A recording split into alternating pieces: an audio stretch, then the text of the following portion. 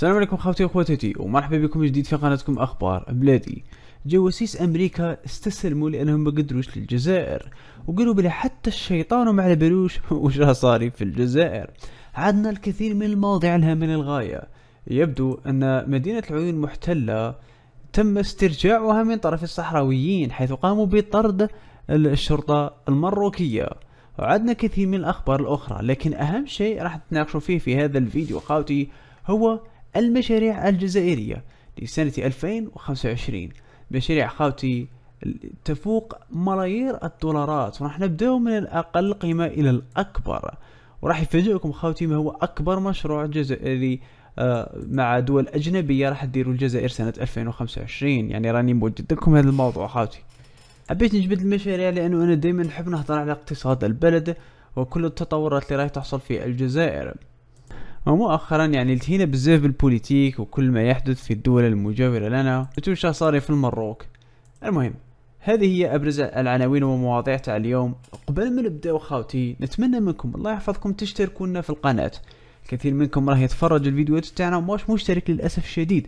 من نتمنى خاوتي الله يحفظكم تشتركونا في القناة تفعلوا الجرس. وثانيك راني حاب نشكركم جزيل الشكر على دعمكم المتواصل لنا. صراحة والله ماكم مفرطين. خاوتي الله يحفظكم. بلا ما نطول عليكم يلا للتفاصيل. خلينا نبدأ بالخبر الأول اللي فاجأ الكثير. كما بالكم خاوتي أمريكا وين تحط تدير الجواسيس تاعها أحيانا الجواسيس يجوا على شكل السفراء وأحيانا يجوا على أشكال أخرى. كان هنالك جاسوس كان يعمل في الجزائر وسيء مرارا وتكرارا. يعني يحصل على معلومات لكنه تفاجأ. وشوفوا وش قال لهم. حتى الشيطان لا يدري ما يجري في الجزائر. أيضا من الأمور اللي تخلي الجزائر يعني حصن منيع هي صعوبة الدخول إليها. يعني الجزائر تخير مليح شكون اللي يقدر يدخل للبلد. فمثلا الجزائر تحتل المركز العاشر كأصعب دولة يمكنك الدخول إليها. أصعب دولة هي كوريا الشمالية. جمرها تركمانستان إريتريا بيلاروسيا سوريا إيران ليبيا اليمن فنزويلا ثم الجزائر. أروح تسمعوا معايا خاوتي وش قال السفير الأمريكي؟ نهار اللي كان يحوس يجمع المعلومات على الجزائر. قال لهم حتى الشيطان لا يدري ما يحدث في الجزائر. صرح السفير الأمريكي السابق قبل مغادرته الجزائر أنه يشعر بالإحباط والتذمر لكونه فشل في مهامه الدبلوماسية نتيجة لعدم توصله إلى نتائج ملموسة على الأرض وعدم معرفته للوقائع السياسية التي تجري أمامه نظرا للضبابية الكثيفة ولغياب رؤية واضحة حول ما يدور في الجزائر. يعني ايماجيني وقال لك قعد في الجزائر لسنوات طويلة وكان كل شيء يحدث قدامه إلا أنه ما كان فاهم والو. يقول أو قال لك تجيب الشيطان لهنا ما يقدرش يفهم شو صاري. وهذا المخلوق انساب للجزائر سفرت 132 سنة تاع استعمار. يعني على بالها الدول الاستعمارية في الجديرة وعلى بالها بلي معلومات حساسة عمرها ما تنهضر قدام سفير أمريكا من كل الناس. أنتم اخوتي إيش رايكم في هذا الموضوع؟ قولوا لنا رايكم في التعليقات. في الخبر الآخر كانت هنالك أعمال فوضى كبيرة لسكان الصحراء الغربية في مدينة العيون المحتلة. هذه المدينة خاوتي جاي في الصحراء الغربية. حكموا السيارات تاع الشرطة المروكية وبداو يكسروا. أيضا طردوا هذه الشرطة من هذه المنطقة. وهذو خاوتي هم سكان الصحراء الغربية. إذا ترماركي وراهم ملثمين على وجوههم. يبدو أن هذه الحركة هي حركة يعني ثورية.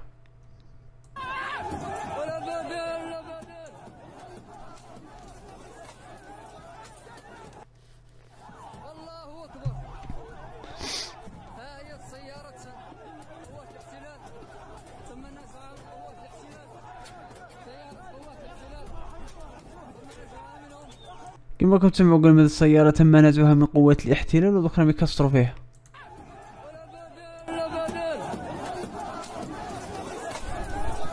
للناس اللي تسمع في الفيديو فقط وما تتفرج هنالك مجموعة كبيرة جدا من سكان الصحراء الغربية في منطقة العيون المحتلة كانوا هجموا على سيارة تاع خاصة بقوات الاحتلال المروكية وطردوا منها هذو تاع قوات الاحتلال المروكية وبداو يكسروا في السيارة كلهم. أيضا الناس اللي يتكسر ولا راهي يدور راهم كامل ملثمين باش يخفوا الهوية تاعهم. أنتم راكم خاوتي في الموضوع. الآن قبل ما نروحوا لأهم المشاريع وبخصوص المروك خاوتي شوفوا الفيديوهات هذو. لجان الآن خلاص. ولاش عبدو المليك محمد السادس على لجان تاع المروك. ولاو ما عندهمش خوف خلاص لأنه حياتهم راهم تبان لهم بلي انتهت. راهم كل حلم تاعهم الآن هم يغادروا هذا البلد. شوفوا واش راهم يقولوا لي جان تاع المروك. أنا خويا جوج المرات كيشدوني في الماء ومرة شدوني في الحدود ديال سبته هو لا طرات تهرس. ولكن راه غنمشيو غنمشيو محمد السعديد أنا كنوجه ليه التحية؟ دير مع الشباب ديالك شي حلول دير لهم أخويا دير لهم شركات دير لهم فين يخدموا. خلي المولى الكراسي يخدموا. شاد لهم الدولة؟ وكتأهل المونديال انت عندك سبب باش ياكلوا ولادك. قاع ولاد الناس يجيو ياكلوا. حي بهدلاتو قلتو تمنيتك تحاول تستقبل المونديال وما عندكش ميم باش توكل ولادك. راك عندك آه، كيف راح توكل الناس اللي راهم جايين يشاهدوا المونديال الشيء انايا حسبي الله ونعم الوكيل في هذه البلاد. وحنايا إن شاء الله حنا ما كنطالبوا والو. حنايا كنطالبوا بأن يحلوا لنا الحدود ونمشيو ياك السبته ديالنا غير محتلينها قلت لي يدي خلاص ما نحوس من عندك والو. أطلقنا نروحوا برك راهي ليكم. ما قلت لكم خلاص راح الخوف من الشباب المراركة واحد الوقت كان يذكر اسم المغرب هكذا بطريقة عيانه يخاف يدوه للحبس. مسؤول أخويا هو الدولة. لا ما نبقاو نغطاو أخويا الشمه بغور السما بغربال نغطيو الشمس بالغربال المسؤول أخويا هما دوك الناس. راه قهرونا أخويا وحق الرب العظيم يشحشوهم راه عيينا والله يشا عيينا قسما بالله. راك ما بانش ليه هيبة بريس أخويا ما نجيش نوقف. ما كنحشارمو هذا المنبر أخويا. المهم خاوتي يعني خلاص وصلوا لواحد المستوى تاع اليأس ولا ما يخافوش من الملك. أنا اخرون من المروك يلا نروحوا للجزائر. والمشاريع اللي كما قلت لكم راني موجدها لكم خاوتي الجزائر الآن راهي دايرة مشاريع ضخمة مع دول اجنبيه باش نحكي لكم على الجز... المشاريع الجزائرية وحدها نحكي لكم على الجزائر مع الدول الأجنبية. وخليني نقول لكم خاوتي باللي الشركات ولا المشاريع هذه تفوق ملايير الدولارات. في الأول نبداو من الأصغر نروحوا الأكبر. عندنا شركة الجزائر ولا الشراكه تاع سوناتراك مع شركة شيفرون الأمريكية بقيمة 1.5 مليار دولار. هذا المشروع راح تديروا سوناتراك مع شيفرون من أجل تطوير المصانع الجزائرية باش تزيد من كمية إنتاج الغاز في الجزائر. قيمة المشروع هذا 1.5 مليار دولار. أيضا عندنا مبادرة الجزائر وألمانيا للهيدروجين الأخضر بقيمة 2 مليار دولار. اولا ألمانيا ولوقت طويل كانت حابه تدير الكثير من المشاريع مع الجزائر من بينها حتى مشروع ديزرتيك. قيمة مشروع ديزرتيك خاوتي هو 450 مليار دولار. كان راح يكون أضخم مشروع طاقة شمسية في العالم ربما حتى أضخم مشروع للطاقة في العالم. لكن تبين لاحقا أنه فيه الكثير من العيوب ولو كان يدير كان راح يضر الجزائر ومش كان راح يفيدها وأيضا المستفيد الأكبر كانت راح تكون الألمان مش الجزائر. لهذا الجزائر يعني قامت بإلغاء هذا المشروع. أما بخصوص المشروع الجديد فراح يكون يعني بخصوص الهيدروجين وليس الطاقة الشمسية. ألمانيا مختصة في هذا المجال وعلى بالها باللي في الجزائر هناك كمية كبيرة جدا من الهيدروجين الأخضر. ومنه ألمانيا وأيضا هناك مشروع مثل هذا مع إيطاليا. ستقوم بالعمل مع الجزائر من أجل إنتاج وتصدير الهيدروجين الأخضر اللي بالوقت هو اللي راح يرومبلاسي المحروقات. أيضا حق قيمة هذا المشروع هو 2 مليار دولار. أنا كل ما تقدموا نتقدموا مشاريع يزيدوا القيمة تاعهم. عندنا مشروع مصنع الصلب بين الجزائر وتركيا. كل هذه المشاريع خاوتي راهي ديجا من بدات آه، كان اللي يبداو من وكان راح يبداو في 2025 قال لك تقوم شركة توصالي القابضة التركية بتوسيع استثمارها في صناعة الصلب بالجزائر مما يجعلها من أكبر الاستثمارات الأجنبية في هذا القطاع. سيساهم المشروع في تطوير قطاع الصناعة الثقيلة وتقليل الاعتماد على واردات الصلب يعني الجزائر ذوك مزيش تستورد الصلب صاي وخلق فرص عمل وتحفيز النمو الاقتصادي في الصناعة. عندنا الآن من بين أضخم المشاريع أيضا هي حقول الغاز حقا. قيمة المشروع الجزائري التركي 3 مليار دولار. خامسا مشروع حقول الغاز بين سوناتراك وإكسون موبيل هذه شركة إكسون موبيل هي أيضا شركة أمريكية أخرى. المشروع هذا هو تحسين البنى التحتية يعني للأنابيب اللي راح تكون تاع الغاز الجزائرية. قيمة هذا المشروع مع أمريكا راح تكون 4 مليار دولار. حد الآن رانا قريب نحكوا 20 مليار دولار. أيضا عندنا خط آه، ترقية أنابيب الغاز بين الجزائر وإيطاليا. آه، بقيمة 6 ملاير دولار. لأنه الجزائر الآن راهي معولة كما قلنا لكم تكثر من كمية الغاز اللي راح تصدرها لأوروبا وتضربها في الزوج يعني راح تدوبليها. ولفعل هذا تحتاج الجزائر إلى المزيد من الأنابيب. لهذا الجزائر تستقبل الغاز من النيجر باش تبعث لأوروبا عبر الأنابيب تاعها وباش تغرم النيجر. نيجيريا أيضا. قيمة هذا المشروع 6 مليار دولار. عندنا تطوير النفط والغاز بين سوناتراك وشركة إيني الإيطالية بسبعة مليار دولار وبناء ميناء شرشال بين الجزائر والصين.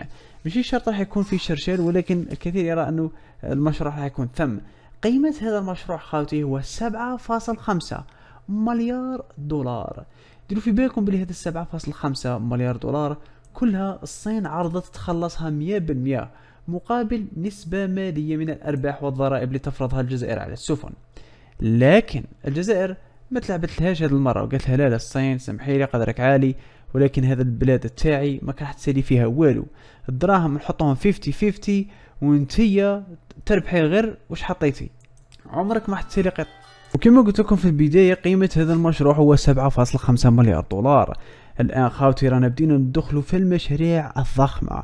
عدنا توسيع قطاع الطاقة بين سوناتراك وشركة بي بي البريطانية. قيمة هذا المشروع حتكون عشرة مليار دولار. كما راكم تشوفوا خاوتي الجزائر راهي دايرة كالقرنيط. راهي دايرة مشاريع للطاقة مع عدة دول أوروبية إيطاليا ألمانيا فرنسا إسبانيا والآن بريطانيا. وحتى ما كنت متوقع بلي قيمة هذا المشروع راح تكون عشرة مليار دولار. الآن خوتي وصلنا لأكبر مشروع اقتصادي سنة 2025 لن تصدقوا مع من كان ولن تصدقوا أصلا المجال. المشروع خاوتي راح يكون في الطاقة النووية راح يكون بين الجزائر وروسيا وقيمة هذا المشروع هي 12 مليار دولار.